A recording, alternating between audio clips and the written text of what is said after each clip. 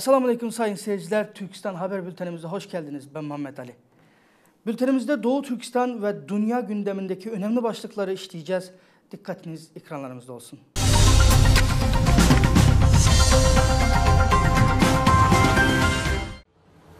Doğu Türkistanlı örgütlerden insanlığa çağrı. Birleşmiş Milletler İnsan Hakları Yüksek Komiserliği uzun süredir beklenen Doğu Türkistan'la ilgili raporunu açıkladı. Doğu Türkistan diasporası Birleşmiş Milletler raporuna dayanan hızlı bir uluslararası tepki verilmesini talep ederek vahşeti durdurmaya çağırdı.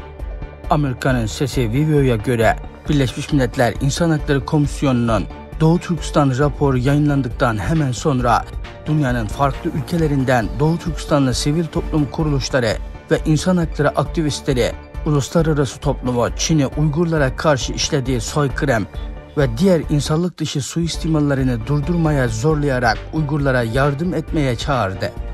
Haberde Uluslararası Doğu Türkistan STK'lar Birliği ve Dünya Uygur Kurultayı da dahil olmak üzere dünyadaki 60'tan fazla Doğu Türkistanlı kuruluş ortak bir bildiri yayınlayarak Birleşmiş Milletleri Doğu Türkistan'daki sistematik soykırımı tekrar ele almak için bağımsız soruşturma yürütmek üzere bir komisyon kurmaya çağırdı. Ortak açıklamada ayrıca Birleşmiş Milletler Soykırımı Önleme Ofisi'ne soykırım ve insan hakları ihlalleri de dahil olmak üzere şiddet riskini derhal değerlendirmesi çağrısında bulunuldu. Habere göre ABD Dışişleri Bakanı Antonio Blinken, Birleşmiş Milletler İnsan Hakları Ofisi tarafından yayınlanan raporla ilgili Perşembe günü bir açıklama yaparak ABD tarafın raporu önemli bulduğu ve memnuniyetle karşıladığını söyledi. Blinken, bu rapor Doğu Türkistan'daki Uygurlara ve diğer etnik gruplara karşı devam eden soykırım ve insanlığa karşı işlenen suçlarla ilgili endişelerimizi derinleştiriyor dedi. Ayrıca ABD Cumhuriyetçi Senatörü Marco Rubio Perşembe günü yaptığı açıklamada İnsan Hakları Ofisi'ni bu konuda zayıf olmakla ve raporun yayınlanmasını geciktirmekle suçladı. Doğu Türkistan diasporası raporu ise memnuniyetle karşıladığını ancak hızlı bir uluslararası tepki verilmesini talep ederek raporun taşları yerinden oynatabileceğini, Uygurlara karşı vahşete son vermek için hükümetlerden derhal adım atmasını beklediğini vurguluyor. Dünya Uygur Kongresi Başkanı Dolkun İsa, bu rapor son derece önemli ancak üye devletler ve Birleşmiş Milletler organları tarafından somut bir eylemle takip edilmesi halinde anlamlı olacaktır. Hesap verebilirlik herkes için geçerli olmalı dedi. Uygur İnsan Hakları Projesi İcra Direktörü Ömer Kanat, bu rapor Uygur krizine uluslararası yanıt söz konusu olduğunda bir oyun değiştirici unsur olabilir dedi. Yine Uygur Hareketi Projesi Başkanı Ruşen Abbas Hanem, İnsan Hakları Yüksek Komiserliği Ofisi raporunu açıklamak için uzun süre bekletmiş olsa da Çin'in vahşeti ve Uygur soykırımı gerçeği bir kez daha belgelenmiş oldu. Üye ülkelerin somut eylem zorunluluğundan çekinme şansı olamaz. Soykırımı durdurmak Birleşmiş Milletler'in temel amacı değil mi ve şimdi tam zamanıdır dedi. Uygur Amerikan Birleşmesi Başkanı Elfidar İlteber, konuşan Birleşmiş Milletler'in önde gelen insan hakları ofisi, Çin hükümetinin sorumlu tutulmaması için başka bahaneler kalmamıştır dedi. Uluslararası Doğu Türkistan STK'lar Birliği Başkanı Hidayet Oğuzhan, halkımız araştırmalarla belgelenmiş Uygur Mahkemesi tarafından yönetilen ve parlamentolar tarafından belirlenen soykırıma katlanmaktadır dedi. Diaspora topluluğu olarak uluslararası insan hakları örgütlerine ve hükümetlere devam eden soykırımı durdurmak için derhal harekete geçmeye çağırıyoruz ifadelerini kullandı. Birleşmiş Milletler İnsan Hakları Konseyi raporunda yapılması gerekenler hakkında tavsiyede bulunarak Uygurlara ve diğer Türk halklarına yapılan muameleyi bağımsız olarak incelemek üzere bir soruşturma komisyonu kurmayı amaçlayan özel veya acil oturum düzenleyip tartışmada konuyu ele almalı.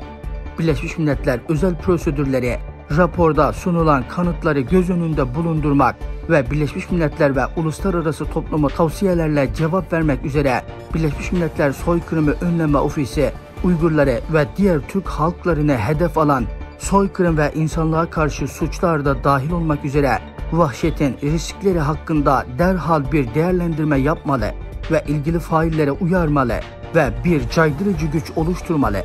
Rapora Uluslararası Ticaret Örgütü'nün Uzmanlar Komitesi yıllık raporunda belirtilen zorla çalıştırmaya dair ek kanıtlar eklenmeli. Uluslararası Ticaret Örgütü'ne üye ülkeler Çin'e karşı sorumluluklarını yerine getirerek şikayette bulunmalı. Ayrıca Çin hükümetiyle soykırım ortaklığı bulunan kuruluşlarla özellikle de yüksek teknoloji gözetim ve devlet tarafından uygulanan zorla çalıştırma sistemleriyle tüm bağlantılarını derhal kesmeli. Birleşmiş Milletler'e bağlı ülke hükümetleri ve uluslararası kuruluşlar 22 mülteci hakları ve düzenlerce insan hakları grupları 50'ye aşkın Doğu Türkistan kuruluşlarıyla yakın zamanda ortak işbirliği kurarak Uygurları ve diğer Türk halklarını kurtarmak için acil adımlar atmalı.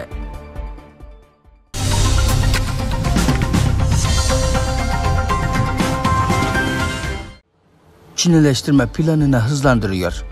Çin rejimi 14. 5 yıllık plan döneminde Doğu Türkistan'ın karayolu trafiğinin genişletilmesine 400 milyar yuan yatırım yapmayı planlıyor ve bu yatırım Çinli yerleşimcilerin Doğu Türkistan'a olan ilgisinin arttığını gösteriyor.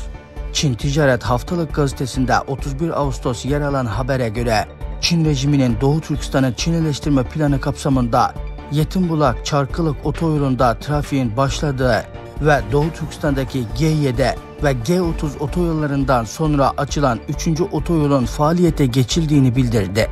Yetimbulak Çarkılık otoyolu hattının tamamen Bayangol'un Moğol bölgesi Çarkılık ilçesi yakınlarında yer aldığı ve toplam uzunluğunun 294 kilometre olduğu bildirildi. Genel hat itibariyle Çin'in Çinhay geçidinde bulunan Yetimbulak kasabasından başlayıp Çarkılık ilçesine kadar uzanan otoyolun mevcut G218 otoyoluna bağlandığı dikkat çekiyor. Çinli yetkililerin Yetimbulak Çarkılık otoyolunun karmaşık jeolojik ortamına, topografisine ve yüksek iklimde olmasına rağmen inşaatı planlanandan 8 ay tamamladığı iddia ediliyor. Çin rejimi Doğu Türkistan'a birçok turizm bölgesi açmayı ve hava yolu, demir yolu, otoyolu ağını daha sıkılaştırmayı, böylece daha fazla Çinlilerin Doğu Türkistan'a taşınmasını sağlamak, nihayetinde Doğu Türkistan'ı tamamen Çinleştirmeye yönelik sistematik soykırım gerçekleştirmeyi planlıyor yıllarca sistematik soykırım ve insanlığa karşı suç işlediği ancak 2017'de ayyuka çıkan Çin rejimi milyonlarca insanı ceza kamplarına ve hapishanelere hapsediyor. Tutsaklara çeşitli kimyasallar vererek zorla kısırlaştırılırken kızlar Çinli erkeklerle evliliğe zorlanıyor. Kadın erkek ayrıt etmeden gençleri Çin illerine ve diğer bölgelere adını istihdam koyup zorla çalışmaya sürgün ediyor bir yandan Uygurların nüfusunu azaltırken yerine Çinli yerleşimcilere bedava konut, prestijli yaşam koşulları vaat ederek bölgede kök salması talep ediliyor. Öte yandan da hava yollarının yanı sıra demir yollarını ve otoyollarını da doğrudan Çin'e bağlayan ulaşım projelerine yatırımı arttırarak Doğu Türkistan kaynaklarını sömürüyor.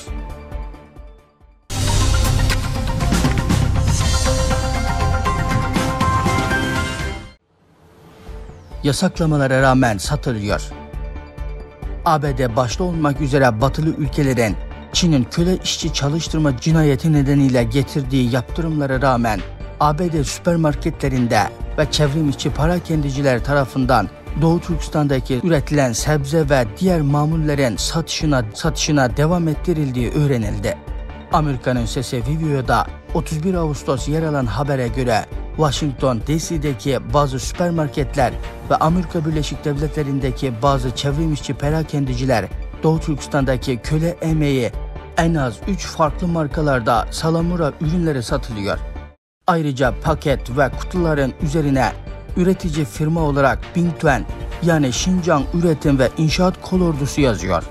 Konuyla ilgili Washington merkezli Uygur İnsan Hakları Projesi tarafından pazartesi günü Uygur zorla çalıştırma mahsulü meyveler, Amerika marketlerinde yasaklanan ürünler başlıklı bir rapor yayımladı. Raporda ABD'li gıda perakendicileri ve tüketicilerinin Doğu Türkistan'da zorla çalıştırma yöntemiyle üretilen sebzeleri alıp satarak Çin'in köle işçi çalıştırma suçuna ortak olduğu belirtiliyor. Rapor Şubat 2022'den Ağustos 2022'ye kadar Washington DC'de bir düzineden fazla ulusal ve uluslararası marketin incelendiği ve Doğu Türkistan'da üretilen salamura ürünlerine sahip 7 mağaza bulunduğunu ortaya koyuyor.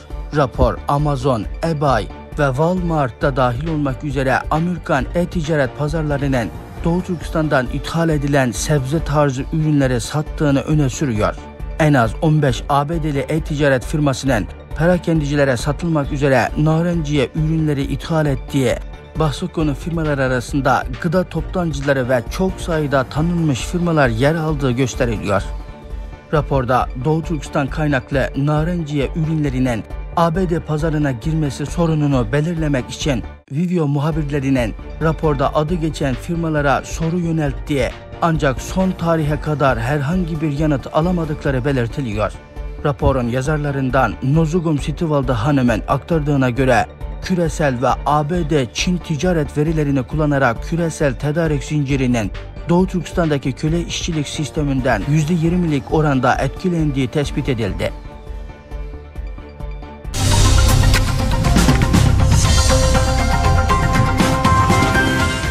Bültenimizi burada noktalıyoruz. Yarın aynı saatte görüşmek dileğiyle. Esselamu Aleyküm ve Rahmetullahi ve Berekatuhu.